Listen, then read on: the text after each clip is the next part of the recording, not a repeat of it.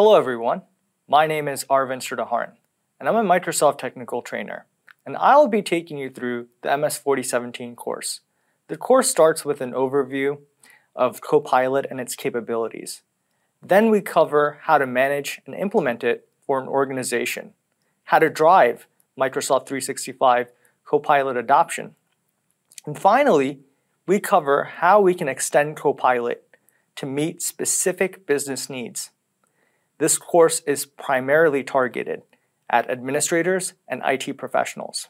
Learners must have a proficient understanding of basic functional experience with Microsoft 365 services, an understanding of general IT practices, and lastly, a working knowledge of Microsoft 365 Copilot. We'll have demos and even simulated lab exercise instructions so that you can get some hands-on experience with some of our tools. Some prerequisites to get started are you have deployed the latest cloud connected version of Microsoft 365 apps for enterprise. You have all users able to work with a Microsoft Entra account to authenticate themselves. Ensure all users have cloud-based Microsoft 365 licenses. Finally, user devices must be on either the current channel or monthly enterprise channel to access Microsoft 365 Copilot features. Some best practices to keep in mind are identify your early adopter teams or individuals to pilot Microsoft 365 and have them provide feedback. Once the tool is implemented, monitor usage and feedback so you can track how employees are using Copilot across your organization. This will help you keep a flexible approach when it comes to deploying licenses. Make sure to have security top of mind and have only the right people get access to the right content. So how should one get ready for Microsoft 365 Copilot faster? Some steps to consider are optimize search. Use restricted SharePoint search feature to define and limit the sites from which Copilot can retrieve data from. This ensures that only approved organizational information is accessible while sensitive data remains protected. Update apps ensure that Microsoft 365 apps on desktop and mobile devices are running on supported update channels. For example, monthly enterprise channel, current channel, or current channel preview. Update configuration settings using tools like Microsoft Intune or Group Policy to enable the latest Copilot experiences. Grant access assign Copilot licenses to users at scale through the Microsoft Entra Admin Center. We'll take a deeper look at the Admin Center as the course progresses. Utilize bulk assignment via groups, security or Microsoft 365 groups to efficiently manage large-scale deployments.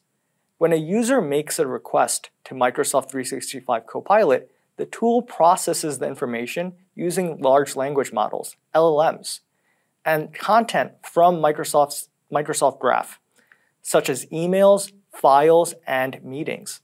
A lot of the content is stored in SharePoint, so it is crucial to govern SharePoint data effectively. Make sure to also look at the analytics of the pages and content to see if the content is valid and being utilized by your organization. Using a tool like SharePoint Advanced Management, SAM for short, will help with governance SAM is available through SharePoint Premium, and it should be considered so one can manage content sprawl. Built-in tools to identify oversharing, control Copilot access to content, and even manage content lifecycle, which can help with certain regulatory requirements. So if you can plan to retire content over time, this can be done via the content lifecycle settings. To reduce accidental oversharing, with SharePoint sharing settings, update sharing link defaults, implement site-level controls to restrict member sharing, clean up unused sites to manage content sprawl, use the inactive SharePoint sites policy feature from SAM. Identify sites with potential overshare content. Utilize SAM reports to identify the most overshared sites. Employ tools to limit Copilot's access to confidential data. You can also control access to content. Apply restricted access control, RAC policies, to sites or OneDrive accounts with overshare content. Take proactive measures on business critical sites. Block downloads from selected sites using a block download policy. Apply encryption with extract rights on business critical documents. Some data preparation and governance practices we should know are, in terms of data prep, clean out redundant or outdated content. So to ensure users work with current content. Organize content into logical folders to help Copilot infer appropriate relationships. Eliminate drafts and outdated versions of files. Tag files well. And for data governance, have a data steward role in your organization to oversee preparation and continue maintaining quality. Document your data policies related to M365. Have a governance policy that codifies rules for restricted data, anonymization procedures, employee training requirements, access authorization procedures, and monitoring practices. To protect your M365 Copilot, some tools to consider using for securing your data are Microsoft Purview Information Protection, MS Purview sensitivity labels allow the right people to see the right data. MS Entra conditional access policies to verify explicitly. SharePoint site access reviews to discard old sites as needed, which reduces the risk of breaches. Some best practices to prevent oversharing are conduct access reviews for sites, documents, and emails to see if there are any overexposed assets. Validate that access restrictions don't impede a user's ability to do their job. Test the search functionality to see that there are no access gaps. Microsoft 365 Copilot can be added on top of Microsoft 365 subscription plan. Enabling Copilot is as easy as assigning licenses to selected users. Users that assign M365 Copilot licenses need to have an appropriate M365 license assigned to them. The license should be E3 or E5. Monitor Copilot usage data to optimize the number of licenses handed out to employees.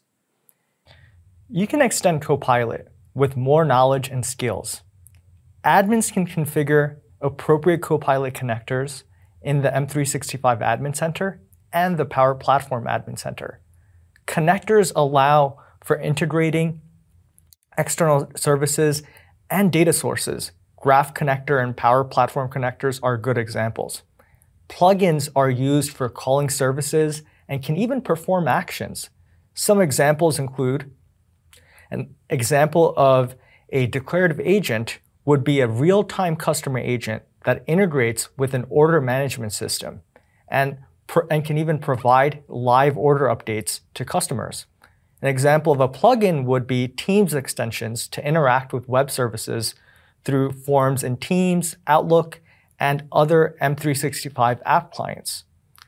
Custom engine agents that can automate complex multi-step workflows, including proactive triggers, and execute long-running tasks. So how do you increase the adoption of M365 Copilot throughout your organization? It happens in stages. It is preferred to do it this way. In phase one, start by reviewing your security and data settings first and be intentional with who gets access to Copilot in the early stages. Help the early adopters build new work habits with Copilot. In phase two, make it easy for users to learn from others. So start a Copilot user community and incentivize those that best make use of tools via awards or titles, some kind of gamification, and keep training folks as a standard practice. Personally, I'd, I would love to be incentivized by pizza parties, but that's just me. In phase three, then you'll want to quantify your impact using tools like Microsoft Copilot, Dashboard, and regularly meeting with your Copilot slash AI council. This council can help you pivot and strategize on how to increase, increase Copilot usage. It is recommended to have a team when deploying something as transformational as Copilot. In phase four, as your organization matures, you'll want to tailor Copilot more towards your business and even optimize it further by creating role-based agents so your organization can achieve more. That was a good start. After this module, we now understand what the prerequisites are for M365 Copilot, how to prepare data searches in M365 Copilot, how to protect your M365 Copilot data with security tools. We also learned how to assign M365 licenses and how to drive a Microsoft 365 Copilot Center of Excellence. I will see you in the next module.